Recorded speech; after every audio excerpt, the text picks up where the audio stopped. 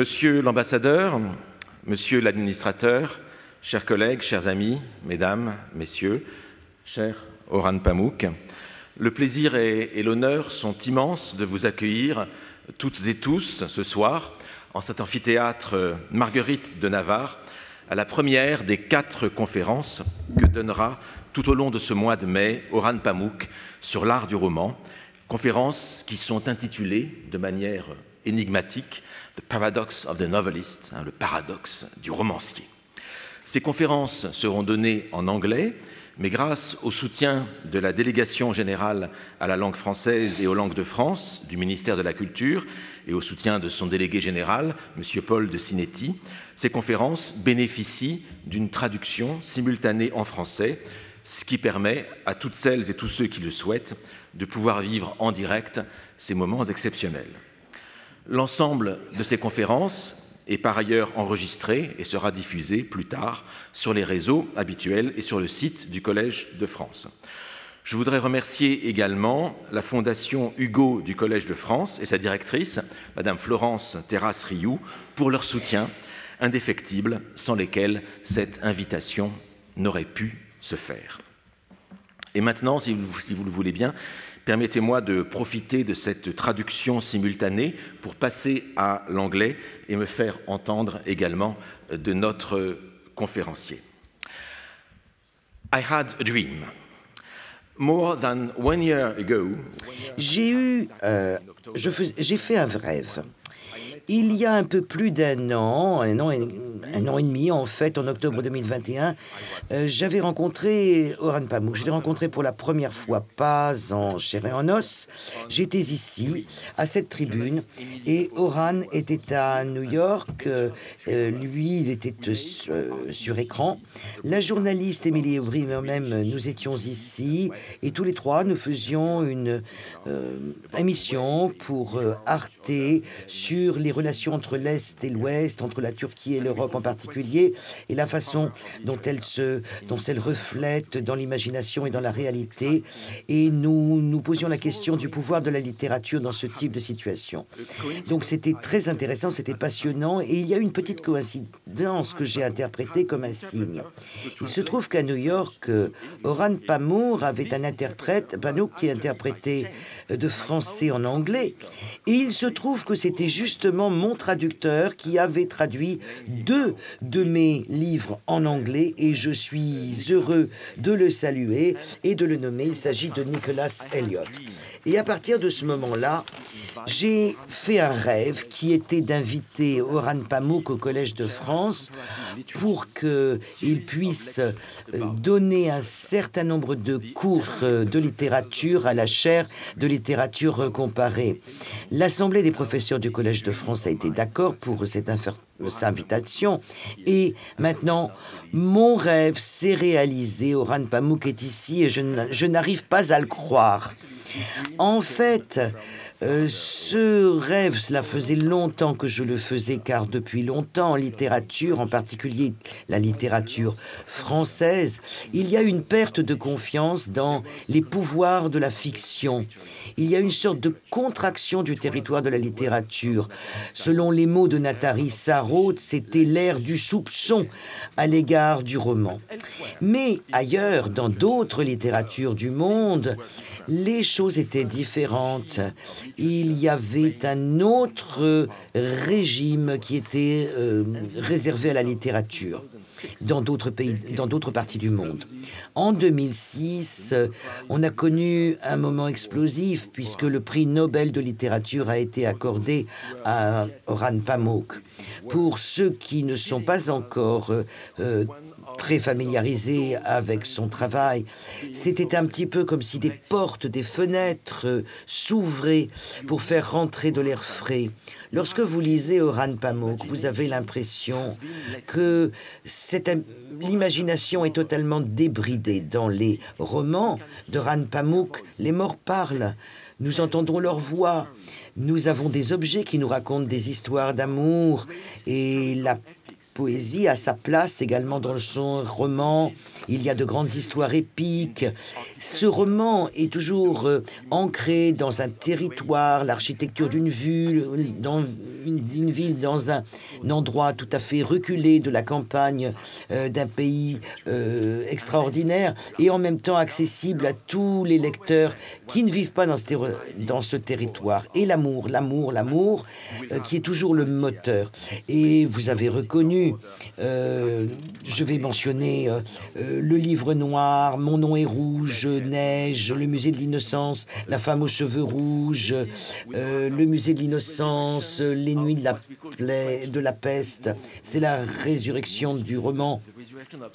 En fait, c'est la, la résurrection du romanesque, en fait euh, qui ou du, vraiment des, de choses romanesques dans, sous sa forme la suprême. Et euh, c'est de la littérature mondiale euh, à son meilleur.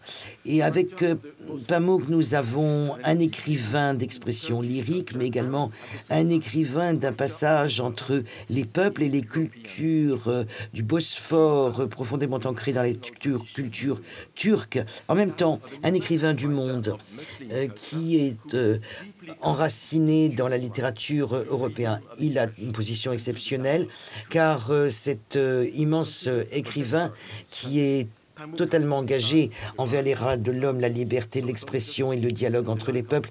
il a été considéré comme un protestateur dans son pays. Il a été, il a critiqué la montée de l'islam de l'islamisme, la, justice sociale et le manque de liberté d'expression. Il a été le premier écrivain du monde euh, musulman à condamner la euh, fatwa de Salman Rushdie en 1989.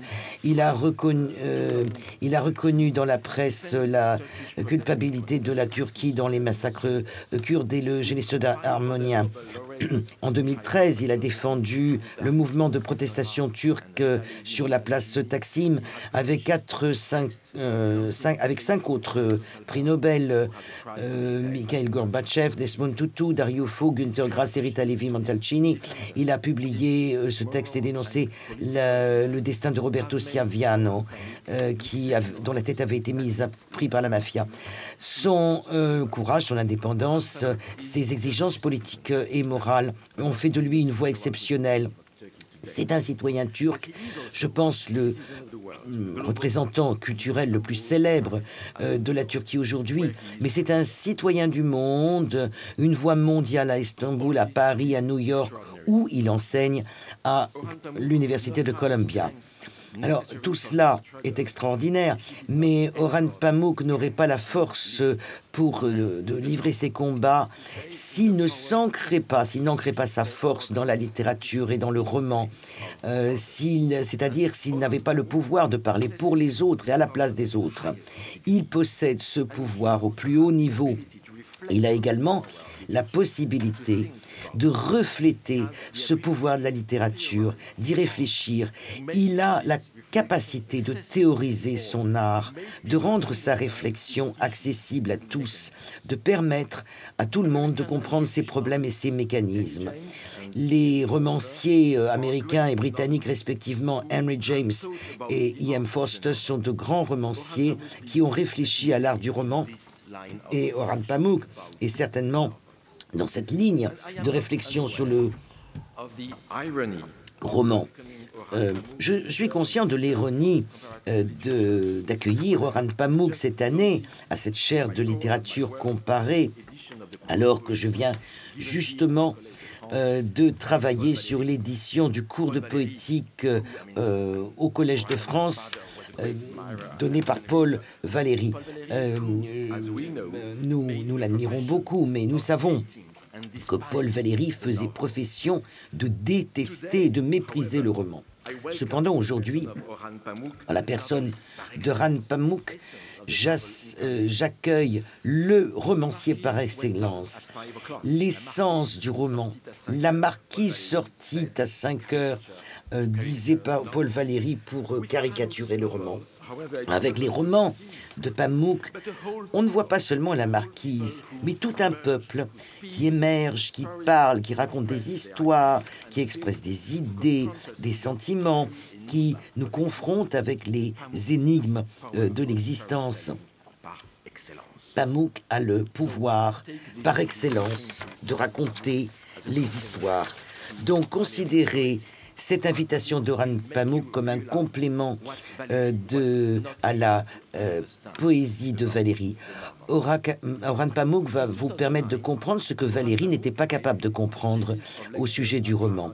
En 2009, Oran Pamuk a donné toute une série de cours à l'université de Harvard, les euh, cours Charles Eliot Norton, euh, qu'il a publié comme euh, le romancier sentimental et naïf. Et ces cours sont déjà des modèles du genre. C'est devenu un classique. Et 14 ans plus tard, Oran Pamuk revient à cette réflexion et la complète. Et c'est maintenant et c'est ici au Collège de France. Ces cours seront également bientôt publiés et je suis bien sûr qu'ils deviendront des classiques également. Alors, tout ce qui me reste maintenant euh, à faire, c'est de passer la parole à Oran Pamuk. Mais avant, je dois accomplir un rituel extrêmement important. Et ce n'est pas seulement suite à ma suggestion, mais à l'invitation de l'ensemble euh, euh, de toute l'Assemblée des professeur euh, du Collège de France, que Oran Pamuk euh, va donner ses cours en tant que professeur invité. Et c'est ainsi que j'ai le plaisir et l'honneur, en tant qu'administrateur du Collège de France, de présenter Oran présenter à Oran Pamuk, pardon, la médaille du Collège de France qui euh, porte euh, euh, la magnifique effigie de son fondateur et inspirateur, l'humaniste Guillaume Budet.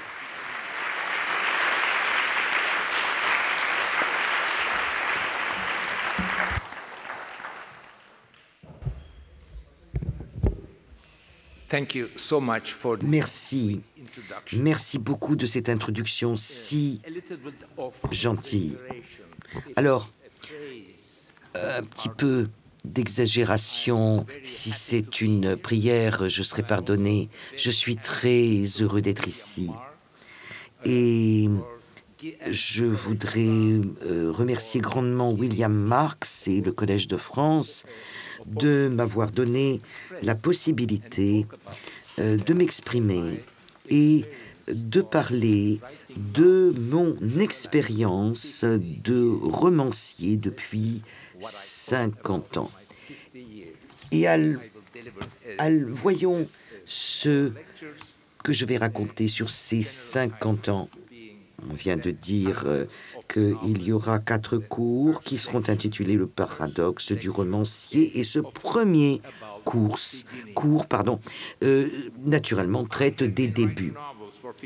Cela fait 50 ans que j'écris des romans, et lorsque j'écris, il y a, j'ai toujours beaucoup de choses en tête. Tout ce que j'ai l'intention d'écrire, tout ce que je fais de manière automatique et sans en avoir l'intention, et également tout ce que je fais sans m'en rendre compte. Et même, euh, j'ai parfois ressenti le besoin de dresser la liste de tout ce que je fais de manière consciente ou non durant le processus d'écriture d'un roman. C'est ce processus qui fera l'objet de ces conférences.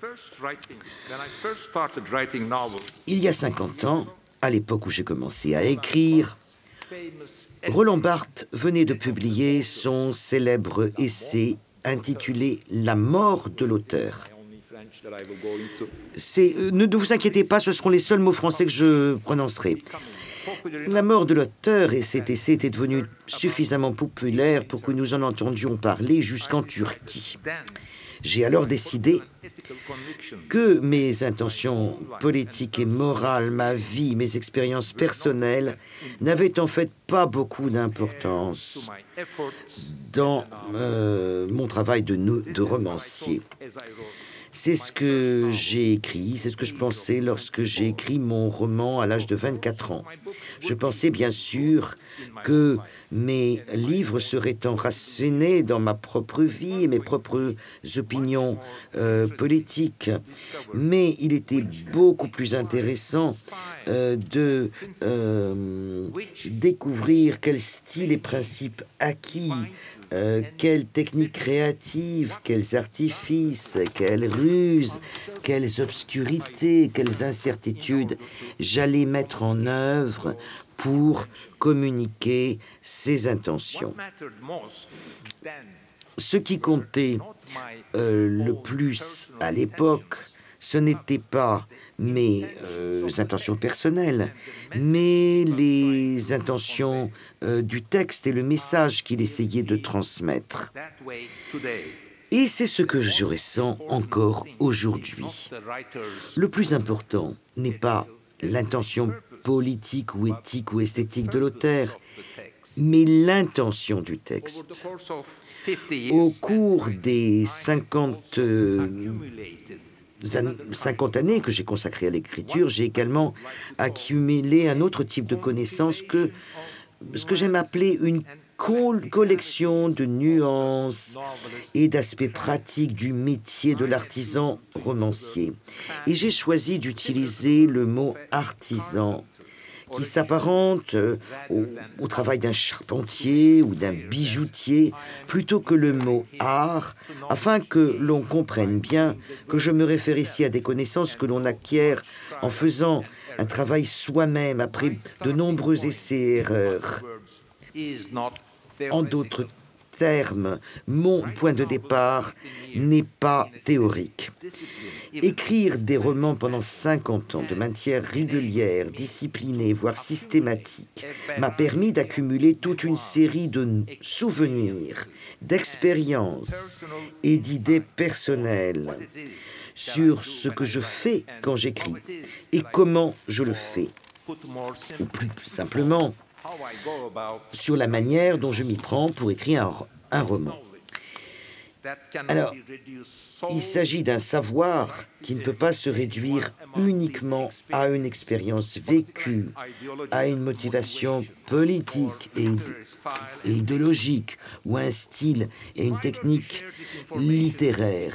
Si je devais euh, partager ces informations avec un public plus large, comme je le fais actuellement dans le cadre d'un cours ou d'un essai, le titre du livre ou de la série conférence qui en résulterait pourrait peut-être être tout simplement Comment écrire un roman Car l'essentiel de ce dont je vais parler n'est pas tant l'analyse d'une œuvre ou d'une corrélation existante, mais plutôt des suggestions, des souvenirs, des conseils, des idées enracinées dans une expérience personnelle qui pourrait montrer la meilleure façon de concevoir quelque chose qui n'existait pas auparavant et dont la production exige un certain travail artisanal pour faire un roman. Mais je ne voudrais pas que l'aspect manuel d'instruction de ces conférences rebute les spécialistes de la littérature que nous avons au Collège de France. Les expériences que je partagerai avec vous, euh, tirées de ma propre vie professionnelle et de celle d'autres romanciers, aborderont des sujets d'intérêt universitaire que nous pourrions rassembler sous le titre comment écrire un roman, ainsi que des sujets euh, d'intérêt littéraire et personnel, et notamment des questions d'idéologie, de politique, de euh, représentation et d'autobiographie. Les idées dont je vais parler ici pourraient également être décrites plus simplement comme de simples suggestions, des avertissements et des conseils du type de ceux qui ne sont en général pas abordés par les théories de la littérature ou de l'identité. En bref, au cours de ces conférences, je partagerai certaines des subtilités que j'ai découvertes grâce à une longue pratique de mon travail continu de, romancier. Permettez-moi d'éclaircir ce point à l'aide d'un exemple. Pour moi, le, plus grand maître de tous les temps est Tolstoï, le comte Léon Tolstoï. J'ai lu de nombreuses biographies de Tolstoï, à la fois avec un œil critique et l'innocence d'un véritable fan. Selon une biographie bien connue dont je me souviens, j'ai lu la remarque suivante. Tolstoï aurait dit un jour, donc Tolstoï dit, dans votre, novel, dans votre roman, si l'un de vos personnages est trop méchant, ajoutez-lui un petit peu de bonté. Et si s'il est trop bon, rendez-le un peu méchant. Tout au long de ma carrière de romancier, je n'ai jamais oublié cette maxime et j'en ai fait bon usage aussi. Nous reviendrons sur ce conseil particulier au cours de nos troisième et quatrième semaines, lorsque nous explorerons le thème de la création et de la construction d'un protagoniste, d'un personnage de roman. Dans cette série de conférences, j'évoquerai les paroles de sagesse de nombreux autres écrivains qui, à l'instar des mots de Tolstoï, m'ont souvent montré la voie à suivre au cours de ma vie de romancier. Les écrivains n'ont pas l'habitude de partager ce genre de conseils simples et pratiques avec les autres. Ce sont les secrets du métier. Si, et c'est presque une expression médiévale, les secrets du métier. Si vous expliquez comment vous avez cuisiné un plat, vous en gâcherez la saveur.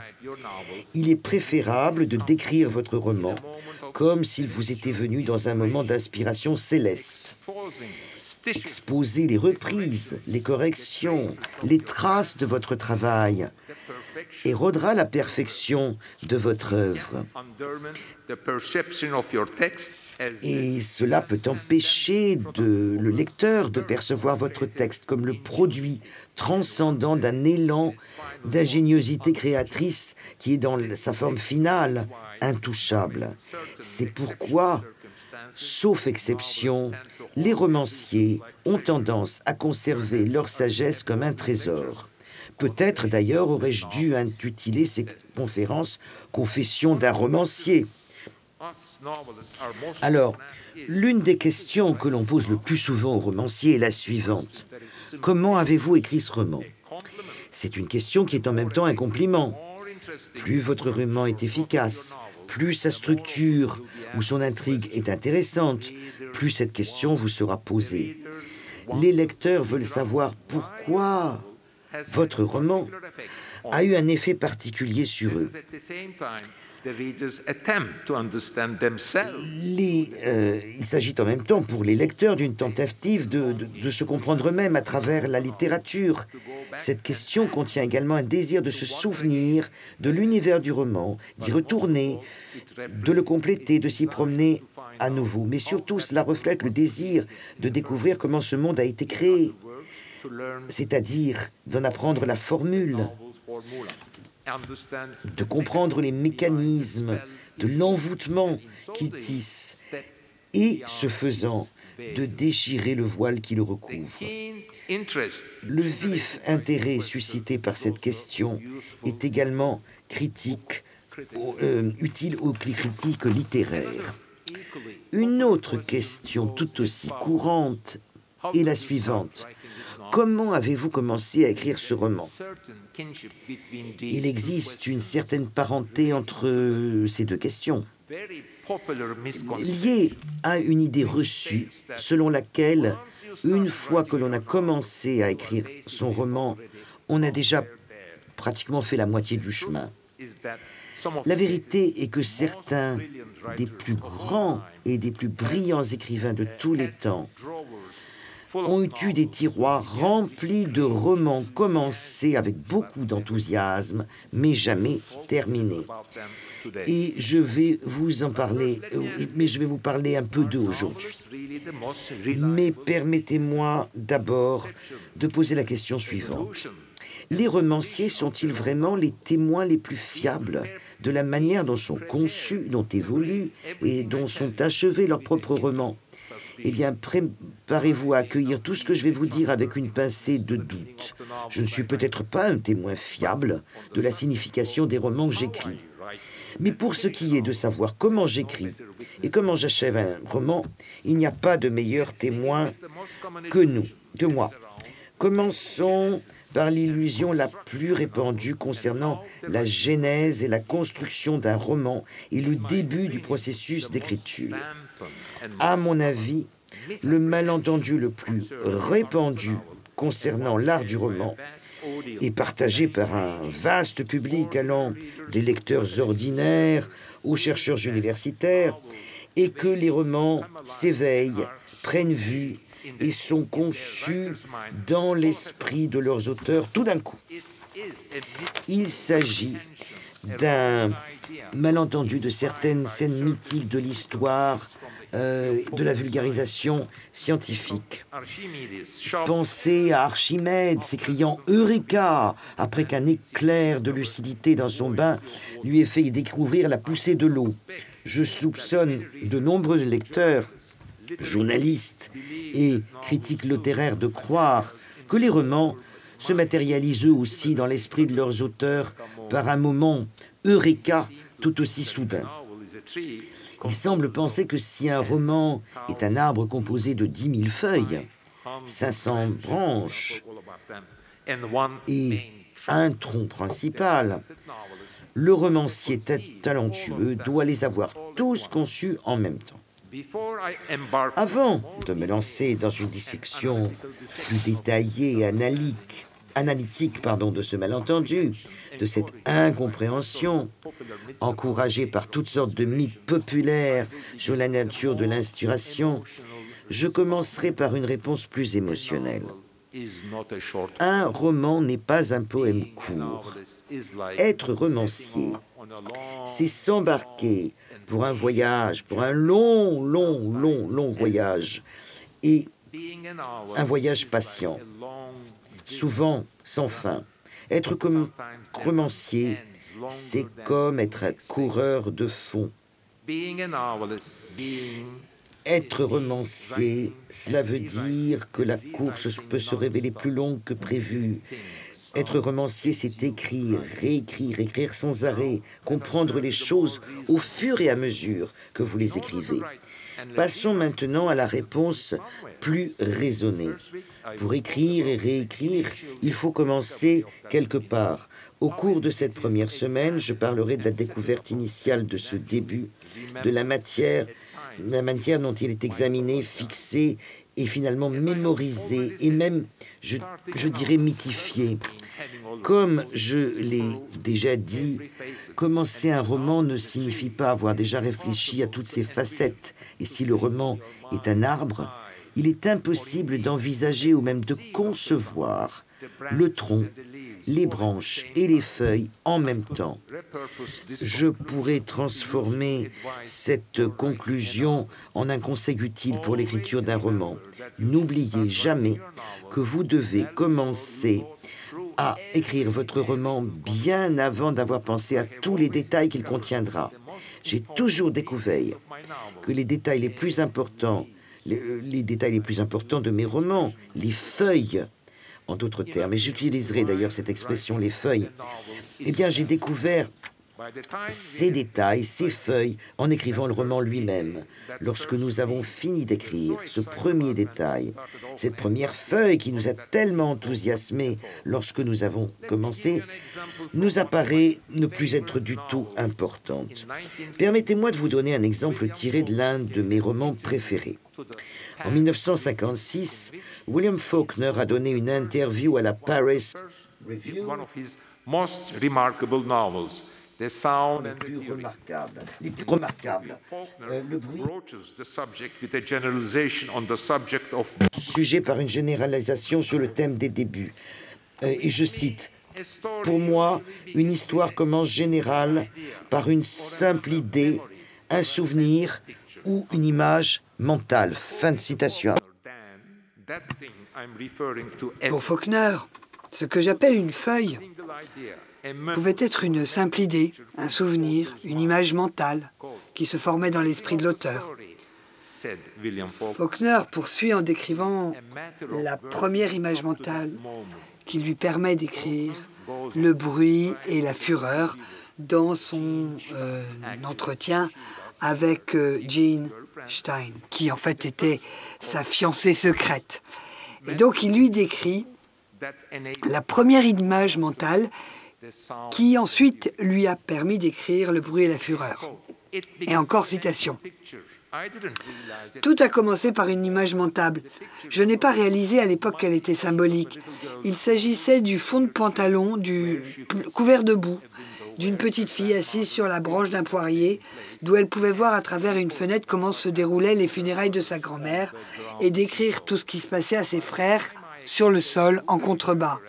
Lorsque j'ai commencé à expliquer qui ils étaient, ce qu'ils faisaient et comment son pantalon était devenu boueux, j'ai réalisé qu'il serait impossible de faire tenir tout cela dans une nouvelle et qu'il allait bien falloir que j'écrive un roman. Euh, et quand euh, que j'écrive un, livre, et quand Faulkner parle d'un livre, il parle d'un roman. Cela indique bien que Faulkner avait clairement identifié la première feuille dont nous avons parlé, mais il semble qu'il n'avait réalisé que bien plus tard que cette feuille était le germe d'un roman. Donc, euh, une fois qu'il avait commencé à écrire une histoire qui décrivait l'image qu'il avait en tête. En 1933, quatre ans après la première publication du roman, Faulkner a rédigé un essai sur la manière dont il avait écrit Le bruit et la fureur. Le texte avait été une, commande pour une nouvelle édition spéciale du livre, et c'était une commande d'un éditeur qui avait pressenti qu'il tenait là un classique de la littérature américaine. Mais cette nouvelle édition n'a finalement jamais été publiée et Faulkner a fini par mettre son introduction de côté. Mais 13 ans plus tard, en 1946, le roman est réédité en même temps qu'un autre chef-d'œuvre de Faulkner qui s'intitulait qui s'intitulait Tandis que j'agonise. Et pour l'occasion, l'auteur avait préparé une nouvelle version de son introduction. Les chercheurs Philippe Cohen et Doreen Fowler ont étudié de très près les différences entre les deux versions de l'introduction qu'avait écrite Faulkner à son roman Le bruit et la fureur. Leur propre essai sur le texte d'introduction de Faulkner peut à son tour être lu comme une introduction et une sorte de mise en garde concernant mes commentaires d'aujourd'hui sur la question des commencements et en fait sur l'ensemble de cette série de conférences. Il y a des choses que les romanciers choisissent de l'art sur l'art du roman, mais ces choses devraient également être considérées comme des éléments de leur production de création. Toute introduction à un livre écrite par un auteur de fiction a de fortes chances d'être à 50% composée de fiction elle-même, disait Faulkner, en parlant du processus d'écriture du bruit et de la fureur. Et d'ajouter, dans la même veine, je n'avais aucun plan en tête lorsque j'ai commencé à écrire. J'ai souvent entendu, ce genre d'affirmation dans les écoles de création littéraire ou lors de discussions avec des romanciers débutants ou des écrivains moins expérimentés. En tant qu'artisan qui a consacré de nombreuses années à ce travail, Permettez-moi donc d'insister sur le point suivant. Si vous n'avez aucun plan, vous aurez généralement beaucoup de difficultés à aller au-delà des premières feuilles. Dans la culture des écoles américaines d'écriture, des écoles d'écriture aux États-Unis, cette difficulté est connue sous le nom de writer's block ou l'angoisse de la feuille blanche en français. À mon avis, cela se produit lorsqu'un livre est commencé avec énormément d'enthousiasme, mais sans plan, c'est-à-dire sans que l'auteur ait suffisamment réfléchi aux autres feuilles, aux branches et au tronc de son œuvre. Ceux qui liront l'article de Cohen et Fowler apprendront qu'en façonnant Le bruit et la fureur, dont tout le monde s'accorde à dire qu'il s'agit d'une œuvre de génie, Faulkner a basé les principaux protagonistes sur les remous de sa propre âme.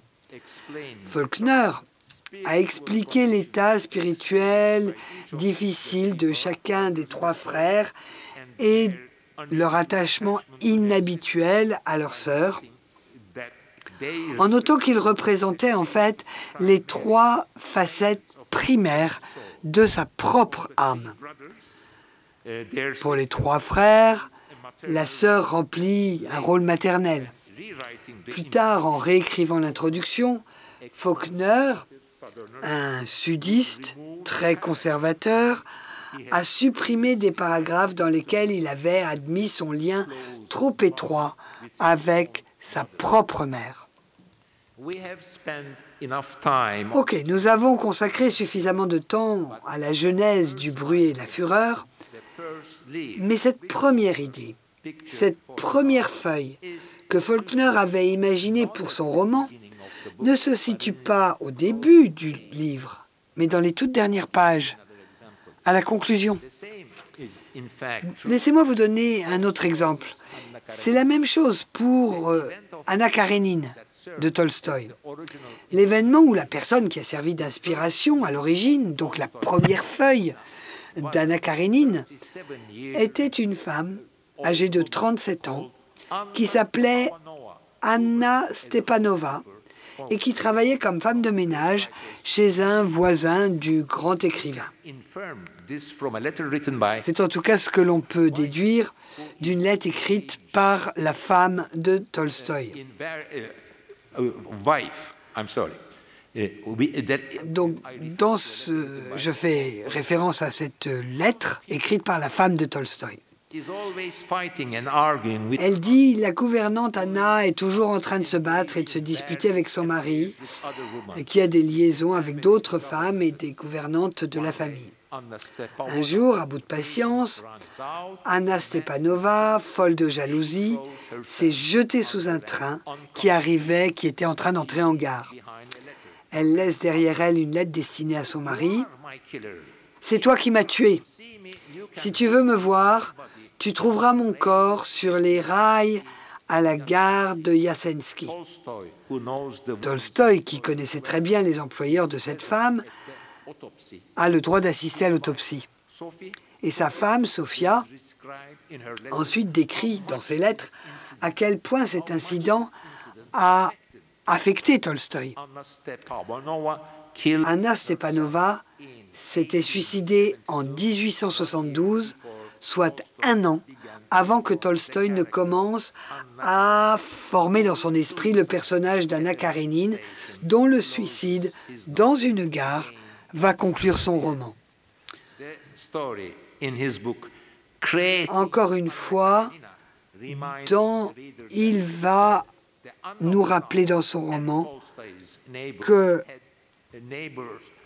la voisine de Tolstoï et l'héroïne de son roman menait une vie assez similaire et avaient toutes les deux des yeux de couleur gris sombre. Tolstoï a manifestement imaginé le suicide de sa protagoniste à la gare. Bon, là je vous parle de la fin de son roman, avant même d'avoir commencé à écrire le livre. Cette idée finit par éclairer de sa lumière particulière l'ensemble du roman. Tolstoï va situer de nombreuses scènes de son roman dans des gares, dans des wagons. Euh, il fera jouer le fils d'Anna avec des petits trains électriques, et ce tout au long du roman. Et vous savez que tout cela a été décrit euh, par Barkov dans ses cours sur la littérature russe. Mais dans de nombreux romans, ce moment crucial que nous appelons la première feuille est présenté dans les premières pages du roman et pas à la fin. Par exemple, un navire sombre dans une tempête, les survivants se retrouvent échoués sur une île déserte. Un enfant naît dans une maison d'une grande ville animée. Un personnage revient après de nombreuses années dans la maison où il a passé son enfance.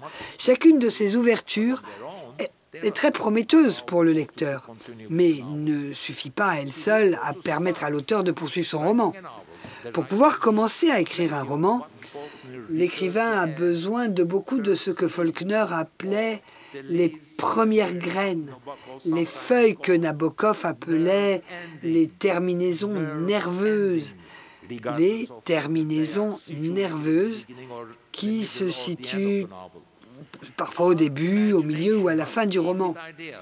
Notre imagination doit fourmiller d'idées sur ce que nos survivants vont faire sur leur île déserte, sur ce qu'ils y vivront, sur le type d'arbre qu'ils y rencontreront, sur euh, le, la couleur de la mer. Nous devrons en savoir beaucoup plus sur le passé de notre nouveau-né, sur l'histoire de sa famille, sur les expériences qu'il vivra. Et nous devrons connaître des choses aussi bien que si nous les avions vécues nous-mêmes. Avant de commencer à nous mettre à notre bureau pour écrire l'histoire d'un personnage qui rentre chez lui après de nombreuses années, nous devons avoir réfléchi aux choses qui vont lui arriver. Nous devons imaginer les événements, comme s'il s'agissait de scènes dans notre livre, les imaginer comme des feuilles qui poussent sur l'arbre de notre roman. De même, avant de commencer à écrire un roman sur la femme qui se suicide dans une gare, il faut avoir imaginé de nombreux autres détails de sa vie. Il faut s'être représenté le contour complet d'un très grand nombre de feuilles. Ce qui permet de trouver suffisamment de feuilles, eh bien, c'est de prendre le temps de réfléchir à l'intrigue du roman et à tous les autres romans que l'on va retrouver dans ce, à tous les autres personnages que l'on va retrouver dans ce roman. Ce sont donc les et voici donc les questions que nous devons nous poser. Premièrement, lorsque Faulkner a imaginé pour la première fois la scène avec la petite sœur sur la branche d'arbre, cette image mentale qu'il décrira par la suite avec tant d'acuité, n'y avait-il vraiment, comme il l'a lui-même affirmé, aucune autre idée importante dans son esprit sur ce qui allait se passer après? Euh, Moi, je soupçonne que la réponse est en fait oui qu'il y avait beaucoup plus d'idées dans la tête de Faulkner. Faulkner voulait écrire un roman qui lui permettrait de combiner la narration à la première personne à la technique de flux de conscience, comme dans le Ulysse de James Joyce, qui euh, venait d'être publié sept ans auparavant. Le roman de Joyce avait acquis un statut absolument extraordinaire dans les cercles littéraires internationaux et était en fait devenu un symbole d'innovation et de modernité euh, en littérature.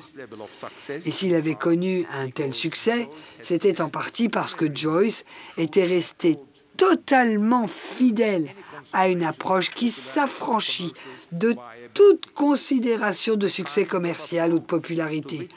Le genre d'approche que l'on qualifie parfois aujourd'hui, de nombreuses années après, euh, d'éthique littéraire moderniste. Dans son essai sur la manière dont il a écrit Le bruit et la fureur, Faulkner consacre moins d'espace à, la à la scène de la petite sœur sur sa branche d'arbre qu'il ne le fait pour, pour déplorer l'échec commercial de ses premières œuvres. Il passe beaucoup plus de temps a expliqué comment il s'était forcé d'écrire un roman créatif et expérimental, sans pour autant se soucier de savoir s'il pourrait être publié ou comment, comment il se vendrait, et plutôt que d'explorer la première image mentale qui lui est venue à l'esprit, ce que j'appelle moi sa première feuille. Deuxième question. De même, alors qu'il pensait à la voisine qui s'était jetée sous un train, Tolstoï avait lui aussi d'autres idées importantes sur le roman qu'il allait commencer à écrire. Alors que Faulkner avait imité Ulysse de James Joyce, Tolstoï, quant à lui, souhaitait écrire un roman à la Madame Bovary de Flaubert, qui avait été publié en France 20 ans plus tôt et qui avait connu un immense succès et bien entendu qui avait eu une influence considérable sur l'art du roman partout dans le monde. Les deux romans peuvent être résumés comme suit. Madame Bovary et Anna Karenine sont deux femmes dont les maris sont des représentants d'un ordre ancien, d'un ordre politique répressif, et qui n'ont pas réussi à rendre leurs épouses heureuses. Donc chacune de ces femmes entretient une liaison extra-conjugale, devient malheureuse et finit par être mise au banc de la société avant, enfin, de se suicider. C'est la progression générale de ces deux romans. Mais nous parlons de commencement. N'oublions pas le commencement. N'oublions pas que la première feuille du roman que nous avons envie d'écrire ne porte pas seulement une photo ou une image, mais aussi un nouveau patron, un modèle, une idée. C'est à cette idée d'ailleurs que Faulkner faisait allusion lorsqu'il parlait de, dans son interview à la Paris Review, il parlait d'une idée, d'un souvenir ou d'une image mentale. Les idées sont tout aussi puissantes que les influences littéraires et tout aussi présentes au début d'un roman que les images. Un rapide tour d'horizon des autres romans que Madame Bovary a inspirés nous permet de mettre en lumière le rôle intrinsèque de l'idée à l'origine de tout roman. Les historiens de la littérature ont souvent évoqué l'influence de Madame Bovary sur Anna Karenine, et l'illustration la plus célèbre en est les scènes où la femme mariée revoit son mari pour la première fois après avoir vu son amant en secret et prend immédiatement conscience du nez de son mari, chez Flaubert, ou de ses oreilles, chez Tolstoï. Et c'est ce que nous dit euh, George Steiner, qui a écrit sur Tolstoï et sur Dostoïevski d'ailleurs. Mais permettez-moi également de souligner qu'Anna Karenine est un roman qui est totalement différent de Madame Bovary. Nous avons dans l'un un portrait épique de la Russie contemporaine avec une voix narrative qui évite le cynisme et la satire. Et nous avons une héroïne dont la personnalité ne ressemble en rien à celle de Madame Bovary. L'auteur allemand Théodore Fontane a écrit un roman qui s'appelle Éphibriste en 1894, dans lequel il met également en scène une femme malheureuse, infidèle à son mari, et dont la liaison est finalement découverte, provoquant scandale dans son cercle social, puis tentative de dissimulation, et qui se termine par la mort de l'héroïne euh, ostracisée. Dans la littérature turque, le roman le plus influencé par l'histoire de Madame Bovary est celui d'une femme malheureuse qui poursuit une liaison extra-conjugale et ce euh, roman s'appelle Aşk Memnu, L'amour interdit, qui a été publié en feuilleton pour la première fois en 1899. C'est l'exemple le plus impressionnant du premier roman turc, une histoire d'élites ottomanes qui vivent dans des manoirs au bord du Bosphore au début du XXe siècle, pendant les toutes dernières années du règne du sultan Abdulhamid II. Alors que dans Madame Bovary et Anna Karenine, l'histoire de la femme infidèle devient un scandale social beaucoup plus large, dans l'histoire allemande des fibristes et dans l'histoire d'Istanbul, Askimemnou, le déshonneur est limité au cercle de la famille. Cela me rappelle parfois que les valeurs conservatrices traditionnelles sont sans doute plus fortes en Allemagne et en Turquie qu'elles ne le sont en France et en Russie. Et ces deux phrases, euh, c'est en fait euh, deux phrases de littérature comparative. Hein. Ça n'est que ça, la littérature comparative. Cela dit, notre sujet d'aujourd'hui, ce n'est pas la similitude entre ces romans, mais leur différence. N'oubliez pas qu'au cours de son évolution, depuis la première feuille, la première image, la première idée jusqu'à sa forme finale, un roman sera influencé par de nombreux facteurs différents, à tel point que son auteur ne pourra jamais prédire la forme que prendra finalement le roman, euh, rien qu'en regardant la première idée. Pour qu'un roman soit riche, soit complexe, soit profond, je pense que c'est essentiel. Les vrais grands romans ne sont jamais fidèles à ce que leurs auteurs ont imaginé lorsqu'ils ont commencé à écrire les premières feuilles ou les premières phrases. Pour nous aider à visualiser tout cela, reprenons euh, la manière dont James Joyce a commencé à écrire Ulysse, le plus grand classique de l'histoire du roman moderniste. Joyce avait d'abord envisagé un long, ce long roman comme une nouvelle, semblable aux histoires tchécoviennes de son recueil Dublinus, Légende de Dublin. Euh, en fait, l'un des titres provisoires de Dublinus était euh, Les Ulysses de Dublin, Ulysses Dublin.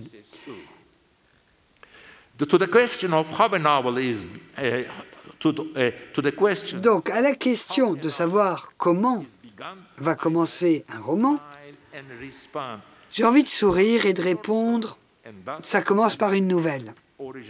Et ensuite révéler l'origine secrète de nombreux autres romans. Oui, certains romans sont en effet de longues nouvelles ou sont composés de chapitres dont chacun pourrait être écrit comme une histoire individuelle et séparée. Ces types de romans répètent les mêmes figures, le même modèle, encore et encore, un peu comme des feuilles de papier peint.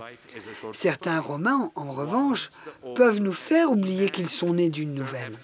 Une fois que leur auteur a imaginé, voire écrit les premières feuilles de l'arbre du roman, il y revient. Et entre-temps, sa propre pensée peut avoir évolué de manière significative et il utilise ces nouvelles idées pour faire pousser de nouvelles feuilles sur le tronc de son arbre. Mais peut-être serait-il plus juste de dire que dans la transition entre la nouvelle et le long et étrange nouveau roman qui va naître, l'auteur verra ses rêves et ses idées se heurter entrer en conflit avec ce qu'il finira par écrire. Il changera continuellement le de plan, changera d'avis au fur et à mesure qu'il écrira. Un vrai grand roman n'est pas un papier peint, c'est un portrait à trois dimensions. C'est cette qualité profonde, sombre, parfois mystérieuse, qui fait d'un roman un roman et qui le sépare des autres romans trouve son origine dans les changements d'avis de l'auteur et dans sa volonté de se contredire.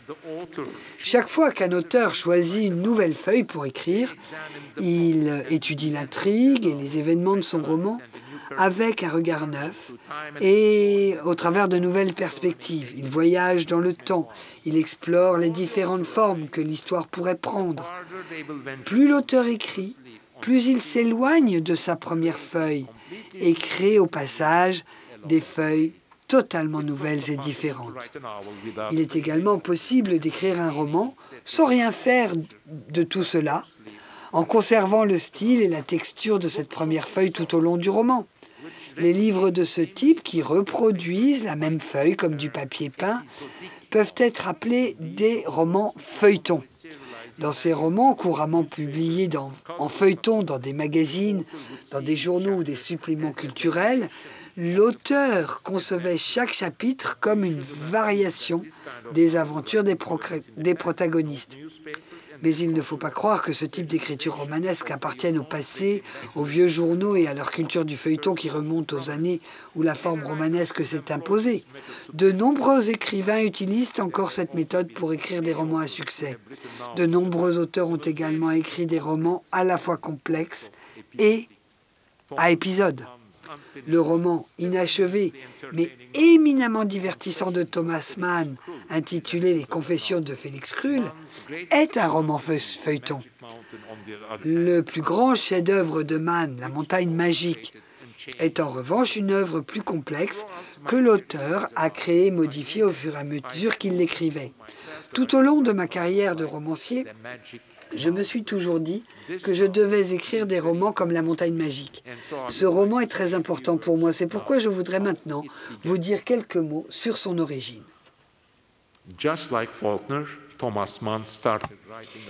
Tout comme Faulkner, Thomas Mann a commencé à écrire sur la façon dont il a commencé à écrire La montagne magique, sur ses intentions initiales pour le roman, sur son évolution alors que son livre était déjà devenu un classique. On lui demandait d'écrire des préfaces pour ses nouvelles euh, éditions. Dans une introduction destinée aux lecteurs américains, Mann explique qu'il avait d'abord envisagé le roman comme une nouvelle. En 1912, la femme de Mann souffre d'une maladie pulmonaire pas très grave et doit passer six mois dans un célèbre sanitarium de Davos.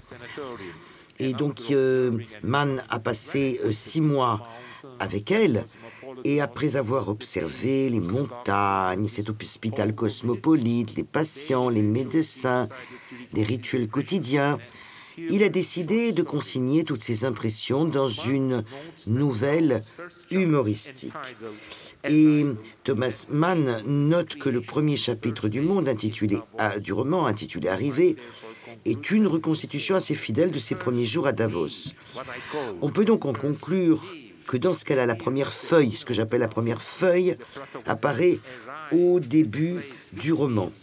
Le protagoniste arrive dans un lieu qui semble nouveau et singulier pour le lecteur également, avec une atmosphère euh, curieuse, particulière, qui lui est propre, ce que Mann résume comme un étrange mélange de mort et de légèreté. Mann avait déjà écrit une nouvelle qui se déroulait dans un sanatorium, mais en préparant ce roman, il s'était montré beaucoup plus expérimental, plus ambitieux qu'il ne l'avait été pour cette nouvelle intitulée Tristan. Il, il, envisageait un roman plus grand, plus encyclopédique, plus complet, dans lequel il dirait tout ce qu'il y a à dire. En fait, l'introduction de Mann mentionne des écrivains qui ont rassemblé tout ce qu'ils voulaient dire dans un seul livre et qui sont aujourd'hui connus pour une seule œuvre, comme Dante. Et euh, Thomas Mann euh, euh, s'y réfère, Dante ou sa divine et sa divine comédie, ou Cervantes et son Don Quichotte. Donc on peut supposer que l'ambition de Mann était que la montagne magique soit, soit au, même, au même niveau que ses œuvres, que ce soit, tout aussi puissant et euh, novateur. Le début de son travail sur la montagne magique a coïncidé avec la période de la vie euh, de Thomas Mann où il préparait, euh, préparait à se publier son roman le plus célèbre, Mort à Venise. Ainsi, son esprit était peut-être occupé par le modèle littéraire différent qu'incarnait Mort à Venise. Mais en même temps, Mann était désireux de réécrire sa nouvelle ironique et humoristique euh, Tristan pour en faire une histoire philosophique se déroulant sur une montagne magique rappelant Davos et explorant dans Mort Venise des thèmes, des préoccupations autour de la vie, de l'esthétique, de la sexualité, de l'art et du temps. La première feuille, ou les premières feuilles, qui ont été imaginées par l'auteur, n'étaient pas suffisamment riches pour pouvoir accueillir toutes les questions, toutes les peurs, toutes les énigmes philosophiques qui étaient présentes euh, dans son euh, esprit. Euh, et il faudrait plus de feuilles, encore plus de feuilles plus variées. Donc dans son essai dans lequel il parle de la manière dont il a écrit La montagne magique, il parle de sa patience et note que son roman n'est pas particulièrement facile à comprendre, mais il ne fait aucune référence à la manière dont il a imaginé sur le papier les deuxième, troisième bouquets de feuilles qui ont fait l'objet de, de, notre discussion. En fait, il, il, s'attarde longuement sur l'idée. Vous vous souvenez qu'on a parlé de l'idée qui sous-tend le euh, roman. Donc, par conséquent, euh, et à l'instar des essais de Faulkner sur le bruit et la fureur, ce texte que Mann a écrit de nombreuses années après la première publication de La Montagne Magique, devient un texte qui fournit des indications sur la manière dont le roman doit être lu et qui peut peut-être même manipule les perceptions des lecteurs et des historiens de la littérature sur le sens du roman tel qu'il a été voulu par son auteur. Rappelons-nous que James Joyce a fait de même au sujet de l'interprétation euh, d'Ulysse, roman qu'il a écrit en sept ans et qui partait d'une idée de nouvelle, Joyce a fourni aux critiques littéraires, Stuart Gilbert, de nombreuses indications qui ont été ensuite euh, rassemblées dans un livre. Lisez-le si vous avez le temps. Thomas Mann s'est également délecté des subtilités de la montagne magique en proclamant très fièrement que pour comprendre pleinement ce qu'il appelle la composition, c'est-à-dire les liens entre la musique orchestrale et la structure de son roman, la technique du leitmotiv et son utilisation du temps, il faudrait en fait lire le roman deux fois.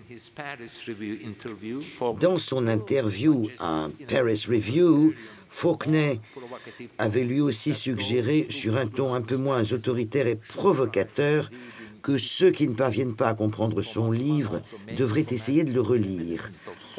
Et Thomas Mann fait également un commentaire qui rappelle ce qu'avait dit Faulkner quand il a parlé de ce qu'il avait écrit dans Le bruit et la fureur sans se soucier de son succès d'édition. Le sujet de la montagne magique, avait dit Mann, n'était pas, de par sa nature, adapté au grand public. Les euh, auteurs de ces euh, deux grands classiques de la littérature moderniste sont parfaitement conscients qu'il est étrange d'indiquer comment leurs romans devraient être lus et interprétés, qu'il est être inapproprié pour eux d'attirer l'attention sur les concepts philosophiques, les qualités esthétiques, le symbolisme, les éléments allégoriques de leurs romans. Pourtant, ils ne peuvent pas s'en empêcher et ils le font quand même. Personne n'est plus euh, conscient qu'Umberto Eco de ce conflit inhérent de l'éthique euh, moderniste, parler ou ne pas parler, du malaise euh, de, l'auteur qui, qui, sait que personne n'est mieux équipé que lui pour parler de son propre travail complexe. Comme William Faulkner et Thomas Mann, Umberto Eco a également rédigé un essai sur la manière dont il est venu à écrire son classique postmoderniste riche et complexe, Le nom de la rose. Dans ce post-scriptum, qui est parfois ajouté aux nouvelles éditions et réimpressions du roman, euh, il aborde avec ironie le dilemme de l'écrivain moderniste sur la question de savoir s'il doit ou non divulguer ses secrets. S'il ne le fait pas, quelqu'un d'autre finira-t-il par les découvrir, ses secrets? C'est la question. Lorsqu'il aborde la question de la curiosité de ses lecteurs concernant le lien entre le titre de son roman, Le nom de la rose, et son sujet, son ton est teinté d'ironie érudite et de double sens, ce qui est euh, euh, compréhensible. Et je cite, Un narrateur ne doit pas fournir d'interprétation de son œuvre, sinon il n'aurait pas écrit un roman, qui est une machine à générer des interprétations, dit-il.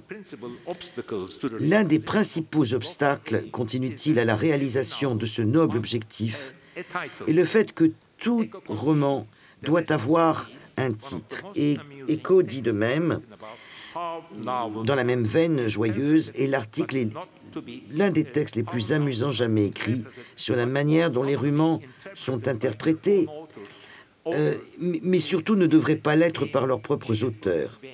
Cet, essai remarquable euh, regorge euh, également d'indications euh, sur la façon de commencer un roman et de le poursuivre. Euh, c'est comme si on s'adressait à un jeune auteur et qu'on lui disait comment, euh, comment écrire. Eh bien, j'enseigne la littérature comparée à l'université de Columbia depuis 16 ans. Et inévitablement, je, m'est arrivé à moi aussi de devoir faire lire mes propres romans à mes étudiants, de devoir discuter de mon travail. Tout à fait conscient de, la maladresse qu'implique le fait d'interpréter mes propres romans.